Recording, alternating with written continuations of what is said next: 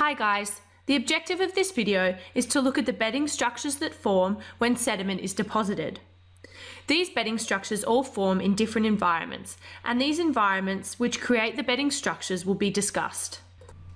Firstly, we will talk about the horizontal beds or strata that the sediment is laid down in.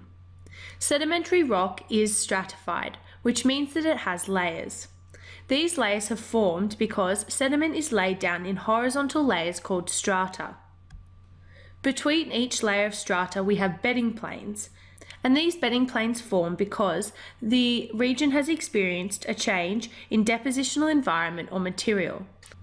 We can see here in this photo that we have had one type of sediment laid down, and then a change in depositional environment has caused a different type of sediment to be laid down on top, in between which is a bedding plane.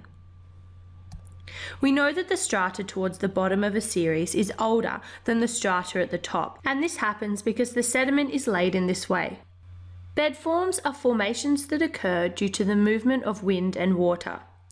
Bed forms are created when water or wind flows over loose sediment and the shape and the texture of the bed form depends on the velocity of the flowing wind or water and the size of the sediment.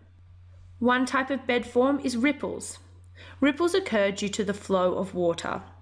Asymmetrical ripples occur when water is just flowing in one direction, as we can see here. Symmetrical ripples will occur when the waves oscillate back and forth, as we can see here. These bed forms can be preserved in the sedimentary rock because new sediment can be deposited on top and the formation will remain the same and will be lithified in this shape. Another type of bed form are dunes. Dunes form with the same formation process as the asymmetrical ripples